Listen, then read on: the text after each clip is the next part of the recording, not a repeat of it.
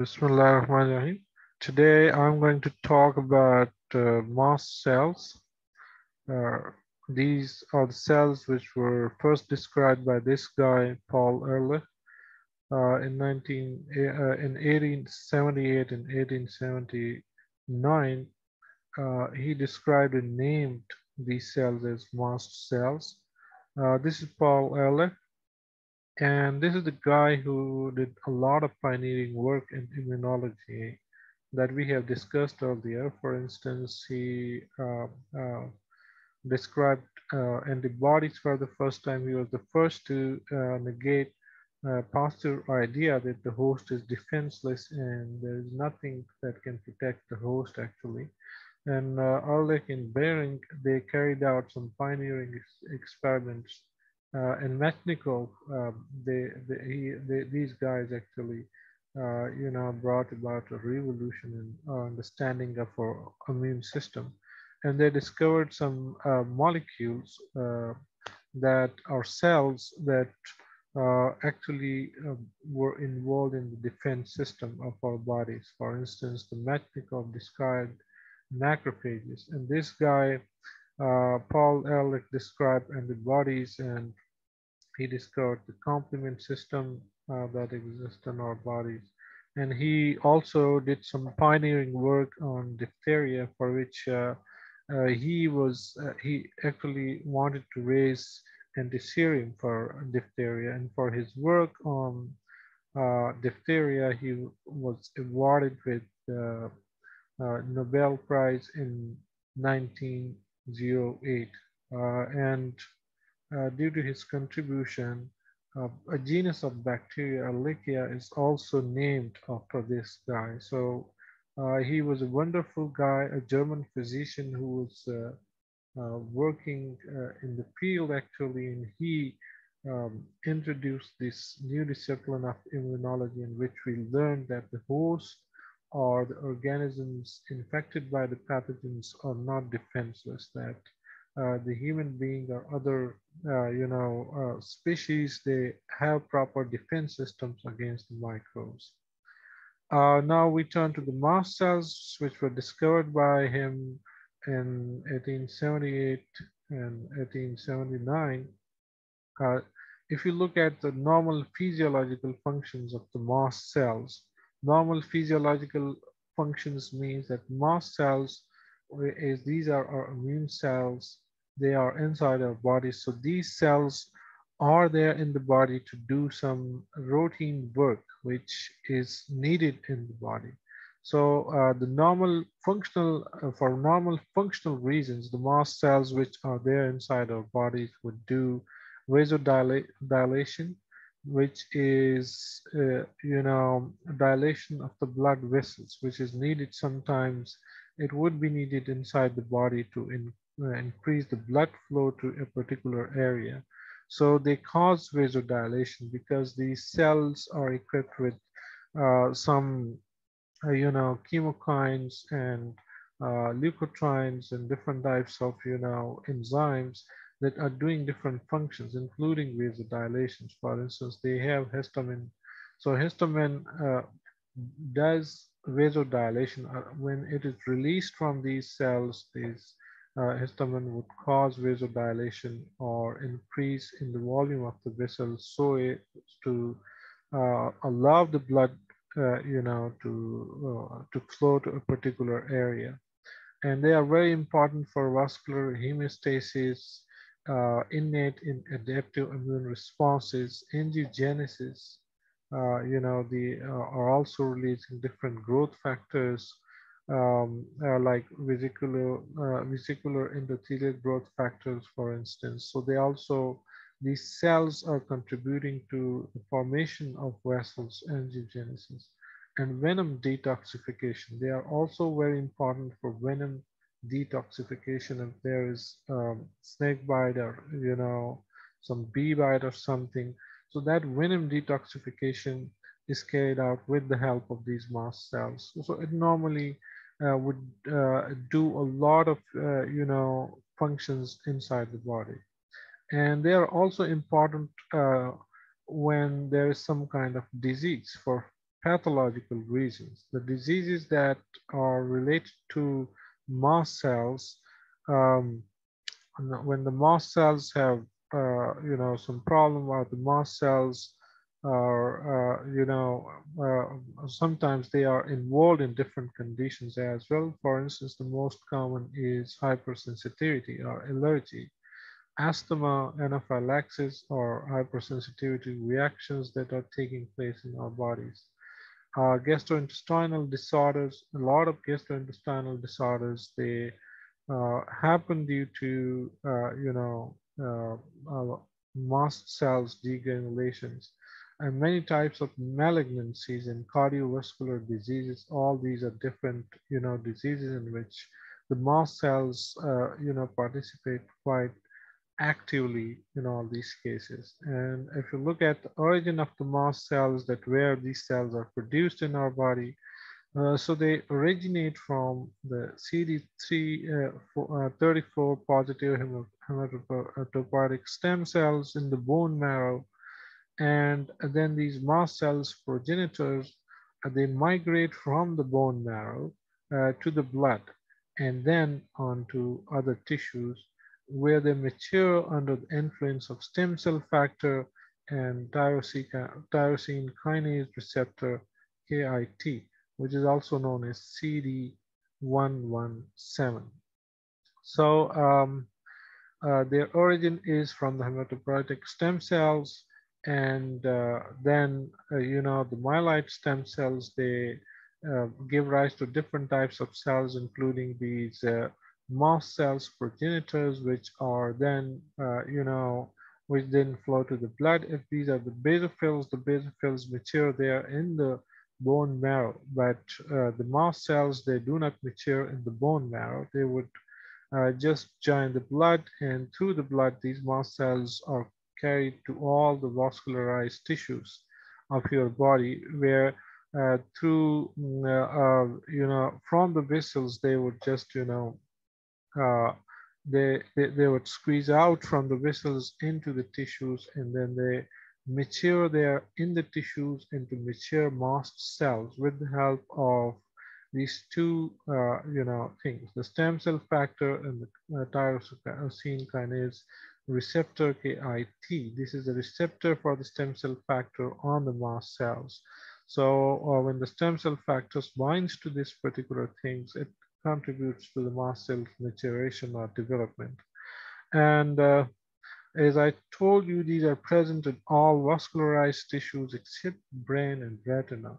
Uh, these are present in the gastrointestinal tract and all the, uh, you know, interfaces of the body where your body and environment are joining with each other. So um, um, in some organs like, uh, you know, in the respiratory system, you would find just, uh, you know, uh, very few uh, of them, uh, you know, under the respiratory epithelium, but uh, when uh, it is needed for them to perform some function, then they are recruited to that particular site. But anyway, they are present in all these mm, different types of tissues and they are performing different functions that we would discuss during this presentation. So um, I think if it is not pink, then we can just go ahead. Um, now, in this slide, you can see a basophil and mast cells. I told you a basophil originates um, in the bone marrow. In the basophil also matures there in the bone marrow, but not the mast cell. It has to migrate to the tissues via blood, uh, where it would, uh, you know, uh, mature with the help of stem cell factor, which binds here to this particular receptor kit.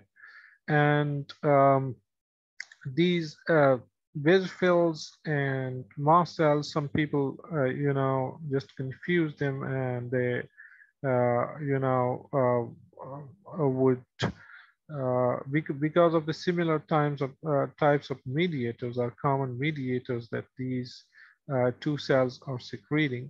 But there are a lot of, there are lots of differences morphologically, chemically, and functionally uh, you can uh, see here that morphologically these cells are different from each other.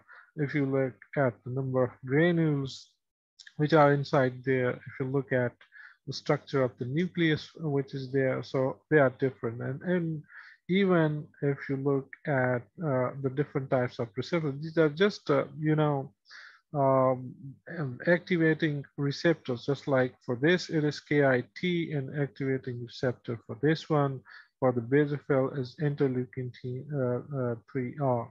So uh, these are different priming factors given here. For instance, the stem cell factor, interleukin 4, interleukin 6. These are the priming or activating factor, factors for the mast cells. Uh, when the mast cells come in contact, for instance, with uh, bacteria or a virus or some allergen, for instance, these priming factors will further, you know, enhance that particular response. And if, uh, if you look at the priming factors for the basophil, these are interleukin 3, 5, 35, uh, GM, CSF, NGF, etc. So uh, there is a difference in the priming or activating factors for the mast cells and the basophils.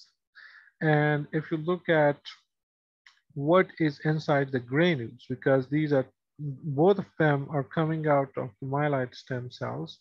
And, uh, uh but the granules uh, present here and the granules present in the basophils, they uh, have something in common and some mediators are specific to the mast cells and the basophils. For instance, you can see the, this is the group of, uh, you know, mediators, mast cell mediators, which can contain uh, heparin and tryptase, chymase, uh, and cathepsin, etc. These are different types of uh, enzymes, renin and prostaglandin 2, and there are other some uh, growth factors, vesicular endothelial growth factor C and D, stem cell factor, tumor necrosis factor alpha, and different kinds of interleukins that you see here, including this colony stimulating factor. So these are the factors to, uh, which are specific to the mast cell. We call them mast cell mediators. The granules here are filled with all these different types of enzymes and things doing different functions. And the granules of mast cells also contains these histamine, granzyme B, and other, you know, uh, factors, uh, uh, cytokines, and growth factors. Uh, while the basophil specific mediators are given here. So there is a difference in the chemical mediators, although some are common, but some mediators are specific to either mast cells or the basophils. So uh, you can also guess about the function of, uh, uh, you know, the mast cells and how many different uh, functions would the mast cell would uh, would be involved in when, when you look at just the mediator. For instance, histamine, which is involved in so many different things like vasodilation, etc.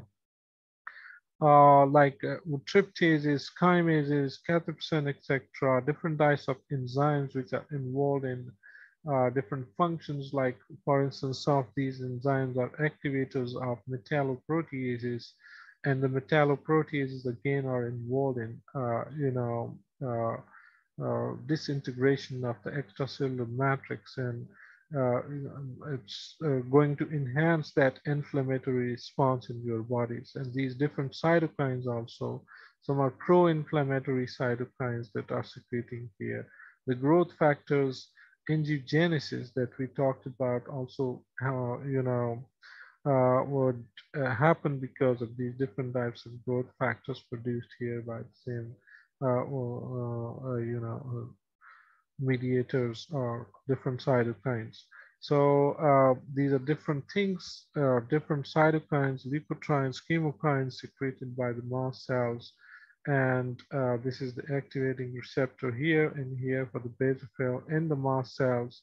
FCER1 uh, RI receptor for IgE or immunoglobulin E uh, is important here. This receptor, which is uh, here, is important with respect to development of allergies. So uh, we will discuss allergies later, but the number of these receptors on mast cells uh, you know, on average, there can be 250,000 receptors, but this number can go up to a million of these receptors on the mast cells. And these are the receptors for, uh, you know, the IgE antibodies. Which, when these are produced, the IgE antibodies are produced as a result of exposure to some allergen.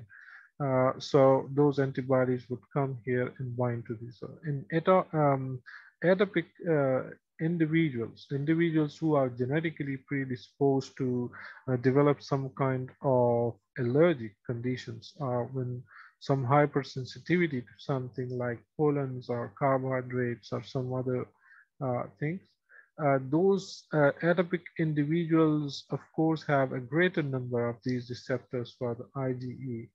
And that's why the response in such individuals uh, is uh, far more rapid and far more worse as compared to individuals who are not atopic and uh, they are not genetically pre predisposed. So the number of receptors on the mast cells in the case of a non-atopic individual would be less as compared to the atopic individual. That's why some people are more prone and they develop severe phenotypes. Now, these mouse cells can be activated by different, uh, you know, microorganisms. When you talk about its activation, it can be activated by different allergens that I talked about. Different drugs can bring about activation or different toxins or physical stimuli can uh, just activate this mast cells. And this is the activated form. The activated form is either degranulation, that it would just, uh, you know, bring about, uh, you know, this outburst of uh, the granules. The granules would be released and these granules are filled with different, uh, you know, uh, tissue hormones or different enzymes or different cytokines or, uh, you know, uh, different growth factors that we talked about. So all these granules when released would, uh, you know, produce uh, an inflammatory, an emergency inflammatory response inside the body, which would uh, actually uh, carry out the process or defense process uh, in order to protect our body. But sometimes this response, uh, something can go wrong and this response can be, you know, unwarranted in, in many cases, just like as you have uh, seen in the case of COVID-19 or in different conditions, just like in different autoimmune disorders in which also the mast cells are involved.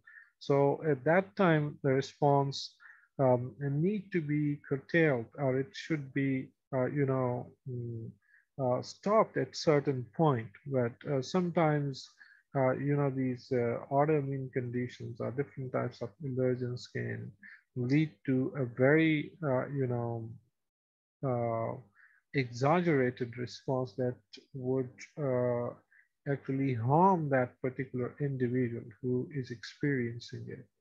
And um, these are different uh, cardiovascular, cutaneous, gastrointestinal, musculoskeletal, and other conditions now you can find all these symptoms as a result of activation of the mast cells when it is degranulated. Uh, then uh, you can you, you, can find out all these symptoms in different organs. For instance, hypertension or decrease in the blood uh, pressure is a result of vasodilation because if histamine is released, it would dilate the vessels and blood pressure would be, uh, you know, uh, would come down. Uh, similarly, uh, syncope, and syncope is when, uh, you know, uh, blood flow to uh, the brain. For instance, the brain is reduced and that causes some kind of, you know, unconsciousness or fainting. that is called syncope or lightheadedness, tachycardia, increasing the rate, uh, heart rate, for instance.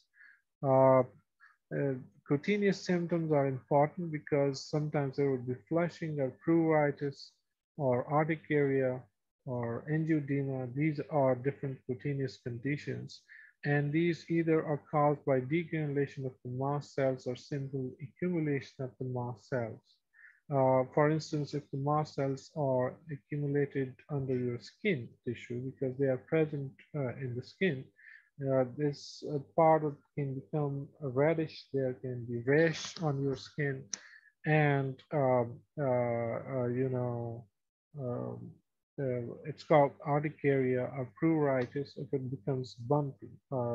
sometimes also papular. When you touch it, you know some fluid would come out of it uh, or you know that bumpy the skin also if it is in the underlying tissue in lots of accumulation and degranulation has taken place it can also lead to angioedema uh, you know that swelling or you know and gastrointestinal tract abdominal cramps esophageal reflux diarrhea nausea and vomiting all these are signs of uh, the mast cells degranulation excessively when they are degranulate excessively due to some problem. There is some allergen, you have eaten something that has triggered or activated the mast cells, then all these different signs can be experienced. Uh, in, the, uh, in different organs, you can see all these different uh, signs that. Uh, and primary mastocytosis is uh, uh, the sign that you would experience as a result of activation of uh, uh, uh, you know, mast cells or accumulation of the mast cells or proliferation of the mast cells uh, in tissues like the skin, uh, bone marrow, and gastrointestinal tract. And the symptoms I already have told you about. If the mast cells accumulate abnormally or pro proliferate abnormally in the skin, uh, then you can find such kind of spots on the skin that you hear these, uh, uh, you know, red papules or some kind of rash. This is urticaria pigmentosa that you are seeing here. This is the primary mast, uh, mastocytosis. But the mastocytosis can also be secondary. In most cases, uh, it is secondary mastocytosis in which you find more pronounced symptoms of the disease. For instance, in the case of allergy.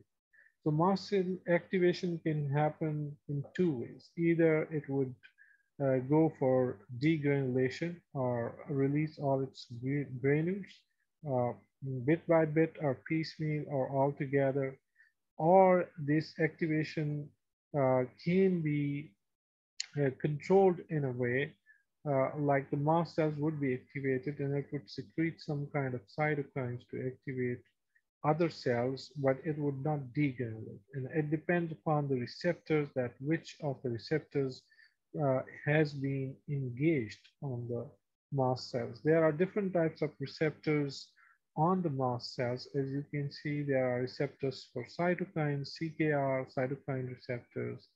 Uh, for adenosine, there is a receptor, complement 5A, C3A, protease allergen, different uh, bacteria and viruses, they are uh, received here with the help of toll-like receptors and other antigens. So for all different antigens, there are receptors uh, and there is FCER, uh, one receptor for the IgE antibodies, you know, the antibodies, immunoglobulin E antibodies that are produced by the B cells in our bodies there is a specific receptor FCER1.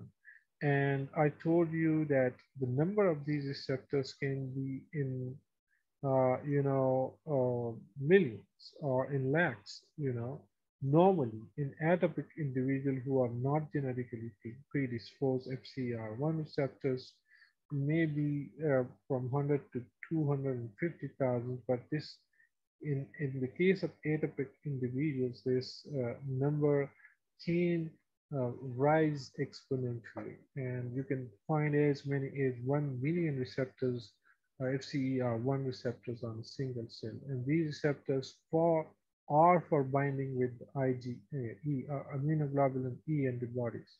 So you can just imagine that the immunoglobulin uh, E antibodies, uh, IgE antibodies produced by the B cells in response to some kind of antigens, all these immunoglobulins on atopic individuals, uh, mast cells, they are coming here and binding there. A million of the antibodies attaching to a single mast cell So what would be the response? I would just show, uh, tell you about the response, the effector phase of the mast cells in the next slide. But here just want to, uh, you, you, you have to keep this in mind that due to the, uh, the, uh, the number of these receptors, some of the people are very prone to develop these allergic conditions uh, and others. So this mast cells can be activated by all these different means different cytokines, different uh, complements, different proteins, microorganisms, all these can activate the mast cells. And the mast cells activation depends upon which of the receptors, uh, you know, have been engaged. The type of activation depends upon it, whether it has to secrete simply the cytokines or it has to degranulate. For instance, in the case of uh, uh, TLR2 and TLR4, these are toll-like receptors 2 and 4.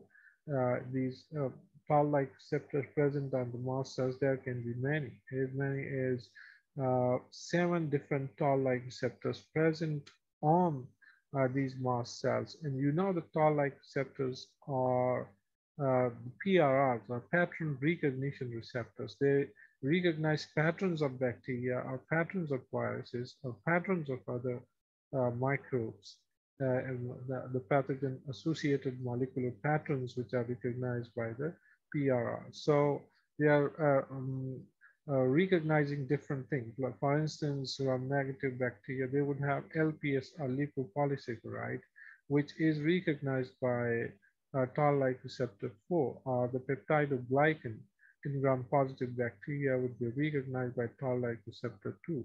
So all the bacteria would have would have uh, proteoglycans would be recognized uh, by, uh, by TLR2 receptor. They would bind to TLR2 receptors here and activate the mast cells degranulation.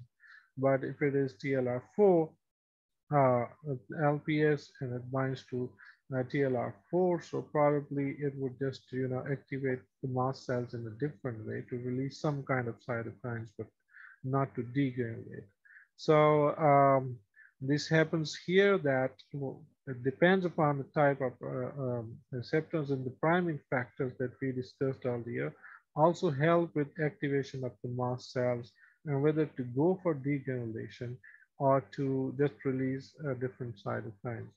Uh, so uh, these receptors, the FCER1 receptor, as I told you, are particularly important with respect to um, with respect uh, to activation of the, uh, you know, uh, these cells to degranulate and uh, produce this allergic response. So uh, because these IgE antibodies are integrated, once they are produced, they are integrated in uh, the membrane of this cell and then these IgE antibodies, you know, when the, that antigen or allergen enters your body again, that allergen goes there and attaches with the IgE. So this assembly of the allergen, the immunoglobulin E and the FCER1 receptor is a perfect trigger for degranulation of the mast cells and it starts bombarding its granular site.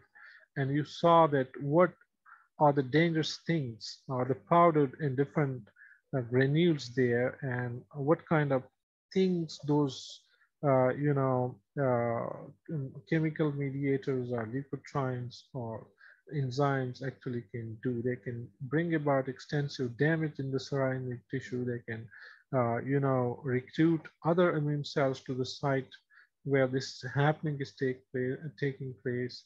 And they can also, you know, that it would be an emergency-like situation. And that is called hypersensitivity. And uh, sometimes it can be very dangerous. So this is the last slide in which I just show you that there are two uh, phases and, uh, you know, uh, three different types of cells involved in the sensitization phase and there is an effector phase. For instance, there is some allergen and you come in contact with the allergen for the first time. So there are dendritic cells everywhere in your body. The dendritic cells would just take up this antigen, chop it into pieces, and then uh, a piece of that antigen would be shown on the membrane of uh, the dendritic cells with the help of MHC class 2 molecule. MHC class 2 is the hand the showing hint of the dendritic cell. Whatever the dendritic cell has to show to the outside world to some other immune cells that happens either with the help of MHC class 1 molecules, major histocompatibility complex class 1, or major, major histocompatibility complex class 2 molecules. So MHC2 molecules are particularly for these uh, different types of allergens are exogenous bacteria, virus pathogens, etc. MHC1 are for endogenous antigens. So uh, this hand specifically shows antigens com coming from outside part of the antigen, which is recognized by the T helper 2 type cells with the help of the T cell receptors. And when the uh, T cell receptors, they recognize the MHC2 and antigen complex, they bind with it, the T cell would secrete these um, interleukins. Interleukins are cytokines, interleukin 4 and interleukin 13. And these interleukin uh, 4 and 13 are very important cytokines because now these cytokines are going to affect the B cells and the B cells uh, would be, uh, you know, activated in such a way that they, these T helper cells, when they, the T helper cells, what is their job? These T, uh, the job of the T helper cell is to uh, you know, present the antigen to the B cells and activate the B cells. So the B cells uh, uh, would make plasma cells and memory cells, and the plasma cells uh, would start secreting antibodies. This is an activated B cells, the plasma cell. The memory cell would keep the memory of this particular antigen while the, B, plasma B cells, they would secrete uh, an antibody which is uh, called the secretory immunoglobulin E or SIGE. So these, uh, when are these antibodies immunoglobulin E are secreted, uh, these immunoglobulin E, they have specific receptors on the mast cells, as I told you in the earlier slide, FC uh, ER1 receptors and FCR1 receptors are all over the mast cells. So these antibodies produced here in the serum or in the blood would all go there and bind, uh, you know, would uh, it's uh, one of its domain would anchor into the plasma membrane of um, these mast cells. So when you are exposed for the first time, um, these immunoglobulin E antibodies are made and all the antibodies are anchored on the, uh, you know, mast cells, everywhere on the mast cells. So their number the number of the antibodies anchoring onto these cells as the, the uh, could be in uh, a million. For instance, in the case of a single mouse cells, as I told you that the number of receptor ACR1 on the mouse cells for this specific antibody can be as much as, uh, you know, uh, 1 million uh, per cell. So you can just imagine that what would happen in that case. And that's why it's called membrane-bound immunoglobulin E. Uh, the immunoglobulins produced are either, uh, you know, free in secretory form when they are secreted, or they can uh, be membrane-bound when they are just uh, go deep into the membrane. They are one of the domain uh, cross-link with internal parts of the cell. So that is a membrane-bound immunoglobulin. So all these immunoglobulins are just fine here. Now in the effector phase, what happens that when somebody is, uh, uh, when this antigen or the same allergen enters the body again, uh, you know, when it enters the body again, then it is the body's uh, mechanism as there are lots of memory B cells present here, which are keeping the memory of this antigen already through this process, the T helper 2 process. Uh, uh, process and the B cells in which these three different types of cells are involved, uh, then these memory cells are clonally expanded. It happens in the case of the, all antigens. Uh, that uh, when the memory cells are present here, the memory cells would be clonally expanded. It means millions of copies of these uh, cells would be made and these cells, when their clonal expansion takes place, the memory cells are made. Uh, the plasma cells also are made and their clonal expansion takes place, the plasma cells, all of them would just uh, go and secrete antibodies. But that is the normal process for the antigens. What happens here that uh, these antigens, when they enter uh, the body, there are lots of mast cells. All the cells are covered with immunoglobulin E antibody. Uh, you know, as I told you, now this antigen, uh, these antigens, when they enter for the second time, the, the same thing happens with the mast cell, as I told you about the memory in the plasma cells that these cells are engaged by the antigen because this antigen is specific to this antibody. This antibody here was made as a result of a part of, uh, you know, this uh, particular allergen or antigen, and it has entered again. So its specific antibody is already there on the mast cells. When it attaches to the mast cells, the mast cells uh, um, and the immunoglobulin E uh, antibody and the FcR1 receptor is a perfect combination to trigger start this degranulation and uh, released all these different cytokine, histamine, tryptases, prostaglandins that uh, give you the sensation of pain. And it causes acute anaphylaxis, asthma, urticaria, rhinorrhea, conjunctivitis, all these different conditions. Or it can also cause chronic anaphylaxis if these cells release interleukin 5, but if the T helper 2 cells release interleukin 5, it would directly affect the eosinophils uh, to produce eczema or prolonged gasping uh, in some cases. So this is the mechanism of, uh, you know, uh, allergies and uh, the involvement of the mast cells in this process that how the mast cells are working and why these hypersensitivity reactions are so fast uh, sometimes are so dangerous as well because uh, these hypersensitivity reactions um, sometimes can kill individual too. Um, if the response is uh, very robust or very very much exaggerated which happens. So there was about mast cells uh, thank you very much for watching this. Maybe we would discuss some more topics in detail later. Thank you.